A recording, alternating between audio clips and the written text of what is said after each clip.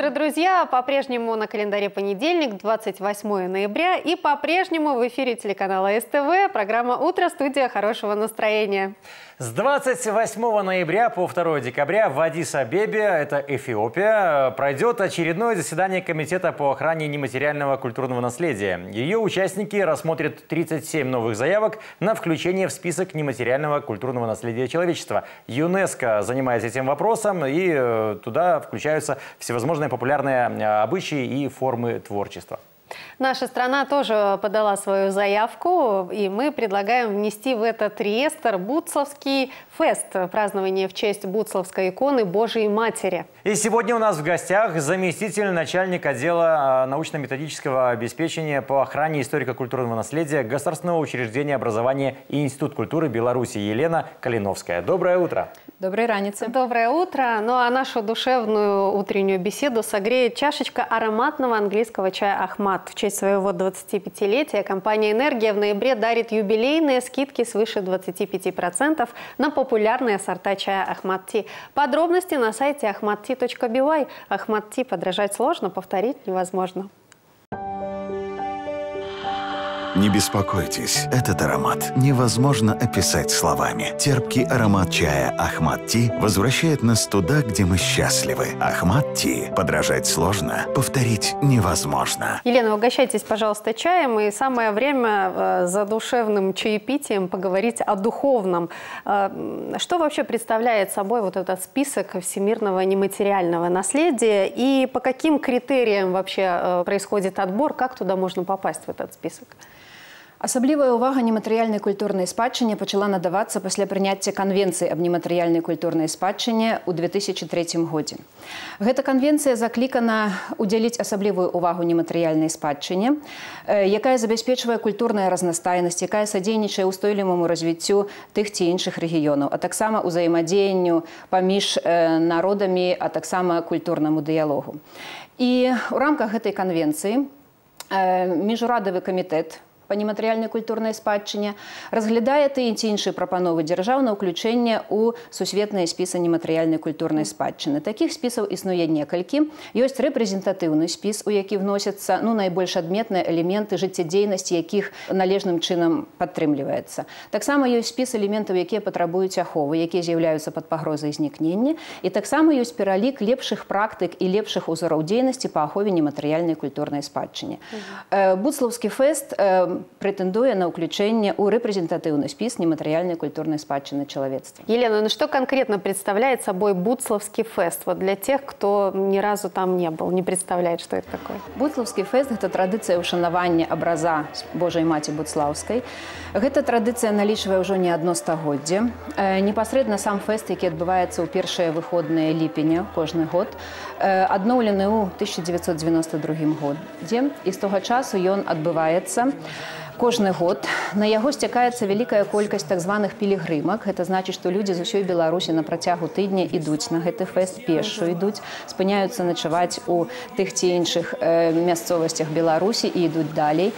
Пасля прыходу на фэст таксама тыя хто прыехаў на фэст на транспарце пачынаюць удзельнічаць у вялікай колькасці духоўных практык службаў таксама дзейнічае фэставы кірмаш выступаюць розныя музычныя калектывы то бок вялікая вялікая колькасць мерапрыемстваў якая фактычна на працягу сутак бесперапынна адбываецца у невялікім мястэчку буцлаў ну а если говорить о том что уже включено в список чтобы мы понимали о чем вообще речь идет в целом что там уже находится сейчас именно от нашей страны предложения какие?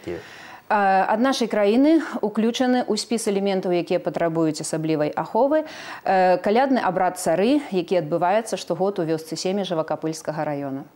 То есть пока одно событие один такой фестиваль который надо охранять непосредственно. А вот э, я прошу прощения белорусский язык э, как таковой он может быть внесен в список э, охраны или это какие-то другие списки мова таксама з'яўляецца элементам нематэрыяльнай культурнай спадчыны таксама можа разглядацца як элемент які патрабуе аховы. Вось ахова падразумевае найперш забеспячэнне жыццядзейнасці тога ці іншага элемента. І нельга казаць што мы лічым спадчыны толькі тое што ўключана ў спіскі юнеска найперш мы лічым найбольш каштоўнай спадчыны тое што ўключана ў нашы беларускія спісы дзяржаўны спіс гісторыка-культурных каштоўнасцей. Вот, давайте про вот этот наш нацыянальны список что там в этом списке? Большой ли он значыць пачнем па парадку. З таго моманту як Рэспубліка Беларусь далучылася да гэтай канвенцыі яна зрабіла гэта адна з першых у нас на тэрыторыі вядзецца дзейнасць па выяўленню элементаў нематэрыяльнай культурнай спадчыны як іх э, вызначае канвенцыя. А канвенцыя вызначае некалькі важных момантаў. Гэты элементы павінны быць э, жыццяздольныя. То есть павінна быць супольнасць якая практыкуе ты ці іншыя традыцыі веды навыкі уменні і э, мае механізм пераемнасці. То бок э, можна прасачыць адкуль гэтыя людзі засвоілі гэтыя навыкі гэтыя ўзоры творчасці і як яны перадаюць. Толькі тыя элементы якія на сённяшні дзень практыкуюцца канкрэтнымі супольнасцямі вот з'яўляюцца згодна канвенцыі элементамі нематэрыяльнай спадчыны і уключаюцца у э, дзяржаўны спіс гісторыка-культурных каштоўнасцей Рэспублікі Беларусь, у якім ёсць спецыяльны раздзел э, прысвечаны нематэрыяльным культурным каштоўнасцям. А какие объекты в национальном списке нематериального наследия, может быть, э, можно заострить внимание на некоторых из них? У дзяржаўны спіс гісторыка-культурных каштоўнасцей Рэспублікі Беларусь уключана 111 элементаў нематэрыяльных праяўленняў творчасці чалавека, сярод якіх вялікая колькасць э, розных традыцый, розных абрадаў, народных рамёстваў.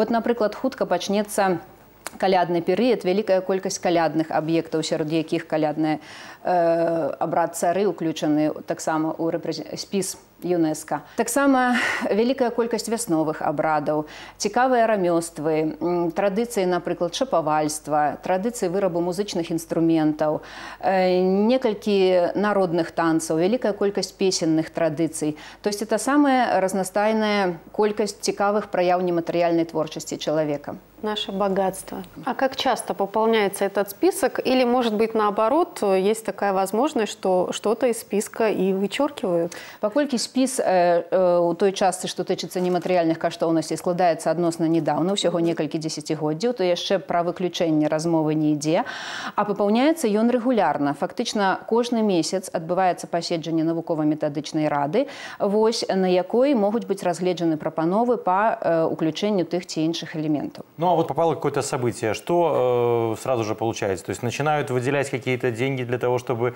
э, сохранять начинают организованно проводить э, распечатывать сценарий, как это все делать в других местах. То есть что вот означает что это дает вообще? мероприятия? Э, скажем так, деятельность начинается задолго до того, как элемент будет включен у спис. Для того, как подрыхтовать элемент для включения у спис, рыхтуется пакет документов, рыхтуется специальная документальная форма, якая по критериях ЮНЕСКО подрыхтована, и У гэтай форме даюцца адказы на вельмі важнае пытанне. Па-першае, якая супольнасць практыкуе элемент, як яна забяспечвае механізм пераемнасці, як мясцовыя ўлады садзейнічаюць падтрымку тых ці іншых гэтых элементаў, якія абавязкі бяруць на сябе мясцовыя ўлады па захаванню. І, канешне ж, сама супольнасць мусіць пісьмова выказаць сваю згоду на ўключэнне гэтага элемента, Таму што, само ўключэнне ў спіс дае хутчэй статус імя магчымасць імідж нейкі да якім можна карыстацца надалей альбо не карыстацца. Тое ж самае тычыцца і сусветных спісаў. Хаця конечно калі мы прызнаём нейкія нашы традыцыі веды навыкі за каштоўнасць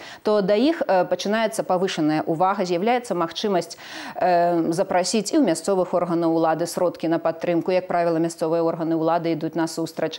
Вось на ўзроўні ЮНЕСКА таксама кожная краіна можа папрасіць фінансавую дапамогу пад пэўныя канкрэтныя праграмы па захаванню нематэрыяльнай культурнай спадчыны. Ну, условно пашыв касцюмов, запись фонограмм либо Ну не зусім так проста, каб папрасіць эту фінансавую дапамогу трэба стварыць сапраўды пэўную праграму з мэтамі, вынікамі, з механізмамі, якімі яна будзе ажыццёўлена. І гэта будзе прыстальна разглядацца. І на прадмет ці адпавядае гэта мэтам канве конвенции. То есть это довольно таки складанный пакет документов. А почему именно Буцовский фест сейчас наша страна предлагает внести в список э, всемирного Звучит нематериального красиво, наследия?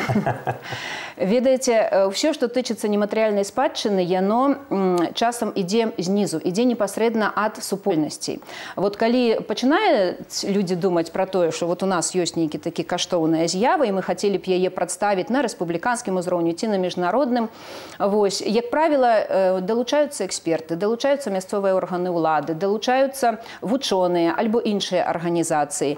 І вот калі ў гэтай супольнасці якая сфарміравалася раптам узнікае ідэя што мы маглі б яшчэ больш шырока прадставіць гэтую традыцыю вось тады пачынаецца гэта работа. Но адпаведна наш інстытут забяспечвае метадычную дапамогу гэтай дзейнасці Мы благодарим нашу гостью. Напоминаем, у нас в гостях э, была заместитель начальника отдела научно-методического обеспечения по охране историко-культурного наследия Государственного учреждения образования и Институт культуры Беларуси Елена Калиновская. Спасибо вам большое. Мы идем провожать нашу гостью, а с вами увидимся сразу же после выпуска новостей.